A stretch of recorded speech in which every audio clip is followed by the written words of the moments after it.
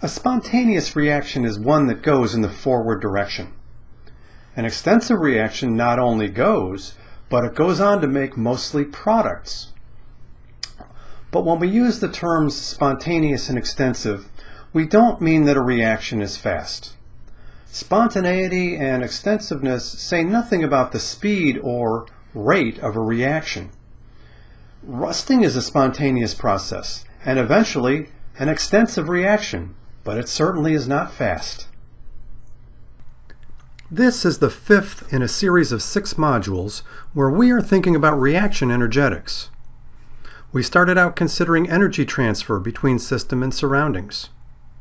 When heat is transferred at constant pressure, there is an enthalpy change. If we combine enthalpy and entropy, we can get the free energy change, delta G, which indicates spontaneity. If a reaction is reversible, it can reach equilibrium. Where the equilibrium lies tells us about the reaction's extensiveness, which is characterized by the standard free energy change, delta G0, and the equilibrium constant, K. This answers the question, how far does it go?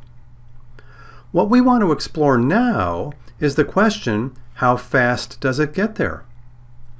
This is the area of kinetics. We'll start with a quantity called activation energy. Activation energies help dictate reaction rates, and we'll see how these rates relate to equilibrium.